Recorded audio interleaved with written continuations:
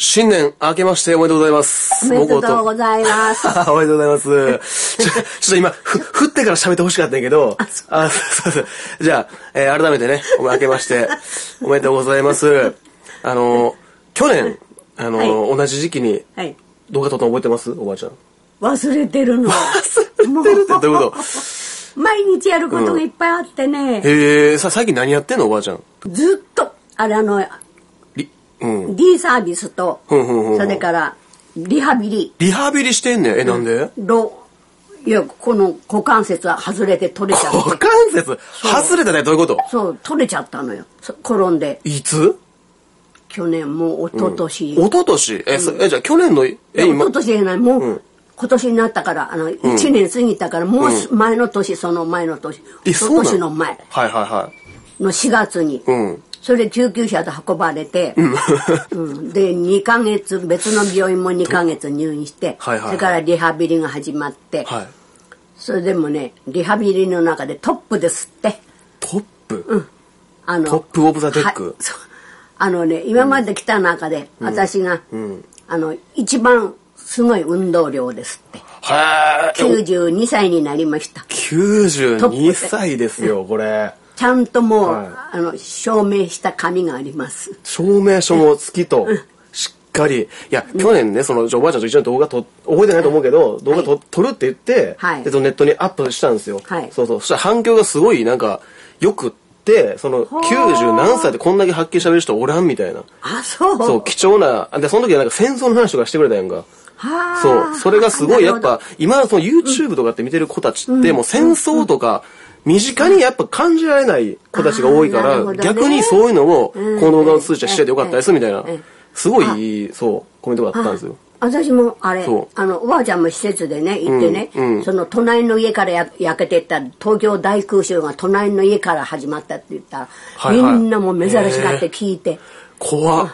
隣の家あの、一つ通りの向こう、うん。だからあのおじいちゃんのうちのね、うんあその親戚のうちでしょ？あの工場、大きな工場、はいはい焼夷弾が落ちてきて全部燃えて、あたもう私たち全部あの防防火水ってのがどこの地にも防火用水っていうのがあって、はいはいはい。はいありますね。それを頭からかぶってうんうん火を消しに行ったの、もう上から飛行機がブワーめちゃくちゃ。やッとれてきて焼夷弾を落としてバラバラバラバラ。バラバラにしてきた。んや。そう、それね、もう、じゃあおばあちゃん死んでてもおかしくなかったこと？あほんほんとほんと。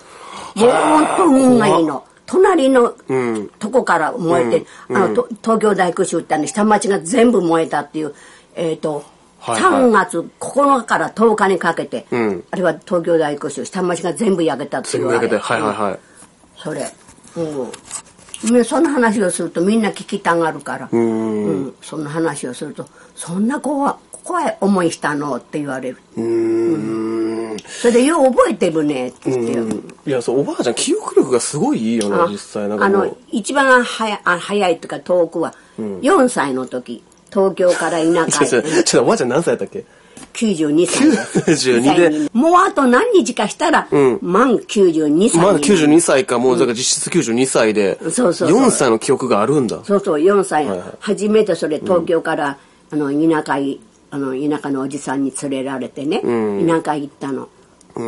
だから数えで5歳ぐらいかな。それで田舎体が弱かったから田舎のうちにずっといて、6年間でん。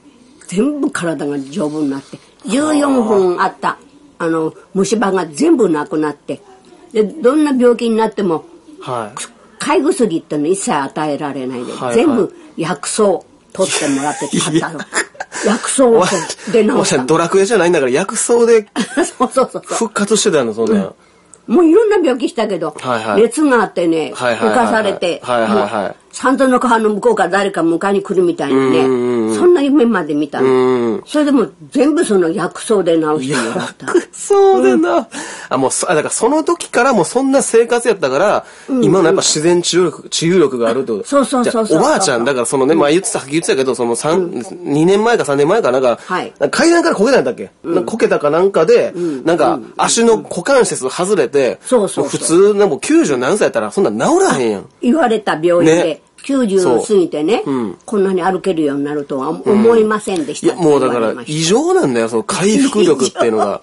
もう言ってみたらもうね、ポケモンの特性で言ったらもう、自然回復持ちみたいな特性でね、はい。あのね、勤めてた会社も、いい会社で、あの戦争前にね。はいはいはいはいでそこで運動場があって、日産関係の。うんうんうん、日産関係で、あ、働いてたんだおばあちゃんもしっかり。俺らとはちゃうやっぱ俺らみたいにニートとはな。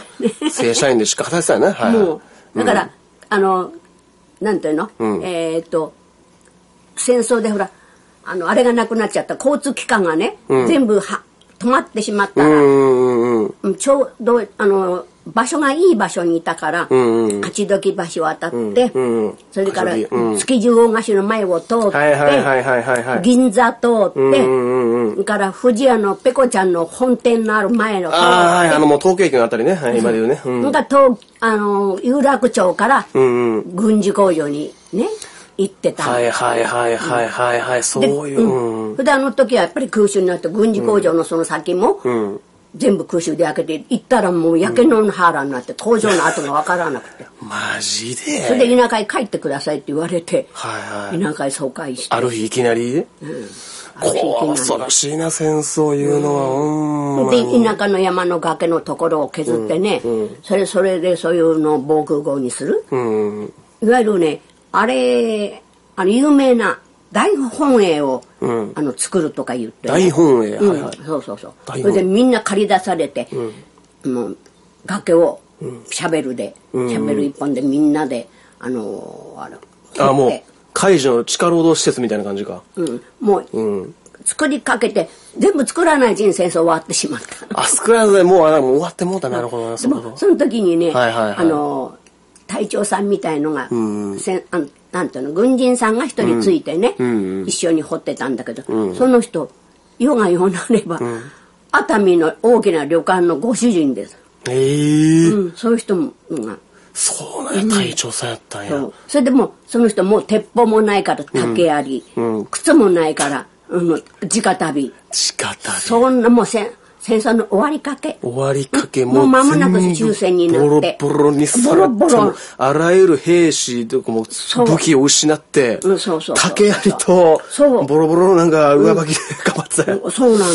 へえもう軍人さんがそういうね。はいはいはい。ないんですもん。私たちの労働力も。後でお金払うって言ったけどそのお金は払い込まれなかった、ああまあ払い未払いや今今請求したらそう帰ってくるんちゃう？あ まあでもそうやって戦争がね生き延びおばあちゃんこうやって生き延びてくれたから俺のお母さんそして俺の俺という存在がねそして今後の俺のね生まれてくるであろう子供が、まだその予定は全くないんですけどもね、はい、残念ながらね。あそう。のまあ、そういう子孫を、子孫を紡いでいく、やっぱこの、いわゆるもう、いにしえのね、そうなわけですよ、おばあちゃんっていうのは。そうそんな、おばあちゃんの、去年1年の振り返りと、まあ、今年の目標をちょっと聞かせてほしくって、うん。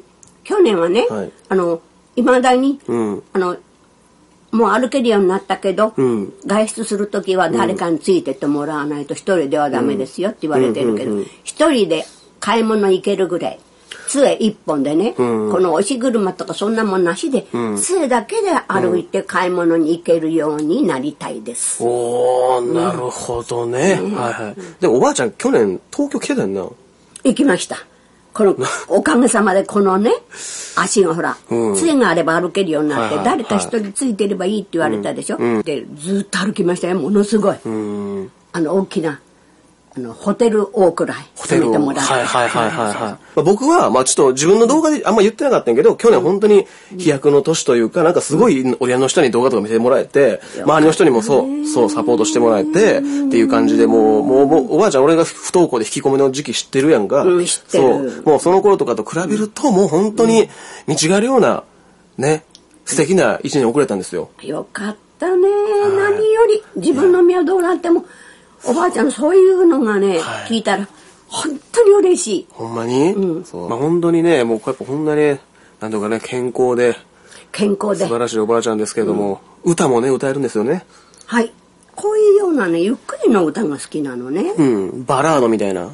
いやいや今童謡だったら。はいはい。叱られて叱られてここは町までお使いに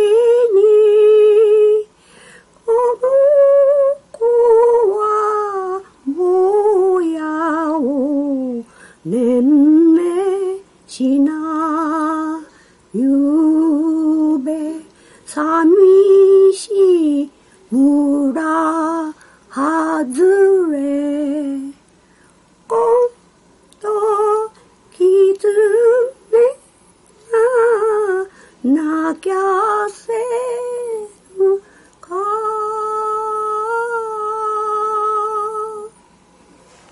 こんなのが好きです。うわ、すごい。てか、高音がこの年ですごい出てるし、ビブラートも効いてるし。今、あんまり出ないんでね。うん、いや、今初めて歌ったからね。え、初めて歌った？初め、最初からね、いや、朝から声歌ってたら、もっと出あ、ますよ。そういうことね。今日は、うんあ、声出ししてないってことか。全然してないそっかそっかそっかそっか。お俺俺の歌も聴いてもらっていいじゃん。はいはい。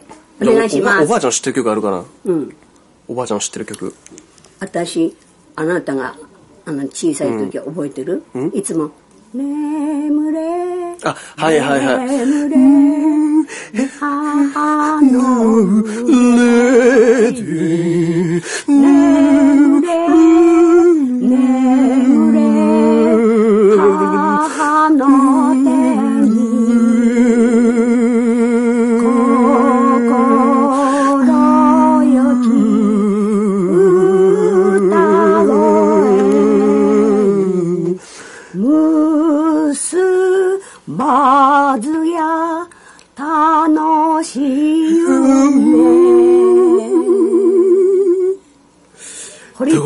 つもこれ歌ってあなたは寝かせつけてたんだよ あなた保育園にね送ってったり、はい。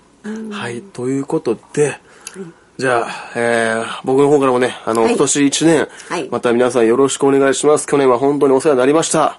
今年も頑張ります。皆さん、またじゃあ次回の動画でお会いしましょよろしくこの孫をよろしくお願いいたしますう。よろしくお願いしたってくれ。